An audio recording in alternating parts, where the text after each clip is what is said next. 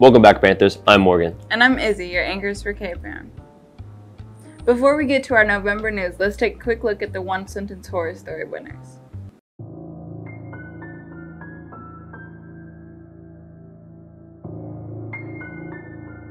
I'm here with third place winner Jeremiah on the one sentence horror story. Jeremiah, what inspired you to write your one sentence horror story? I have a major interest in storytelling, so I always like think of cool stories. And when Miss Main told me about it, I thought it was a cool opportunity to write my own kind of implied horror story. Step by step, the rotten wood floor creaks beneath your feet. You make your way out of that cursed house and onto the dirt road. A feeling of relief washes over you, only for you to notice that the creaking has not. Alexandra, what inspired you to uh, write your sentence?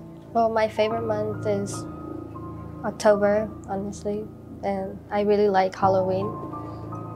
I love holding her hand, but six feet underground feels suffocating.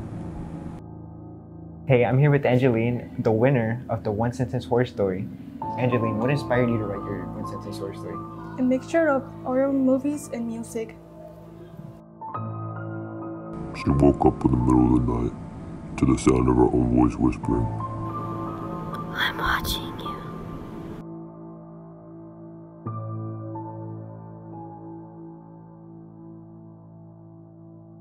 Now let's get straight into the news. There's another Letterman jacket fitting this Thursday in the LGI at 10:30 a.m. Congratulations to all the students who earned a Letterman jacket. Did you get yours? Yes, I love it. Are you gonna get a yearbook too? I haven't thought about it. I think it's a great way for us to keep our memories. If you are also interested in yearbook, journalism has more details. Hey Panthers, yearbooks are now on sale and there are three ways to buy your $70 yearbook. First, you can order it online at schoolcashonline.com or you can reserve a book now and pay later through cchscompass.com.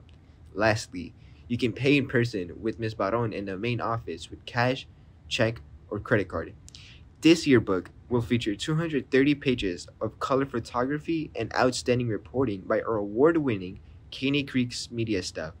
Get your yearbook today and check us out on Twitter and Instagram. Will you sign my yearbook? Only if you sign mine. We'll see. Let's move on to the sports.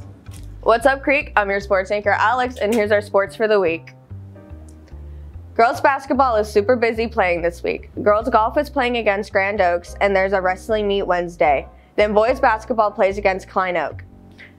Best of luck to all our sports teams this week, and now back to our news anchors. Our student athletes are super busy this week. Good thing we don't have school tomorrow so we can all rest. Also, remember to sign up for the TSI by this Thursday for better placement opportunities for Texas colleges. That's all the news for this week. Thanks for watching and tune in this Friday for Panther Productions. See you next week, Creek. Panthers.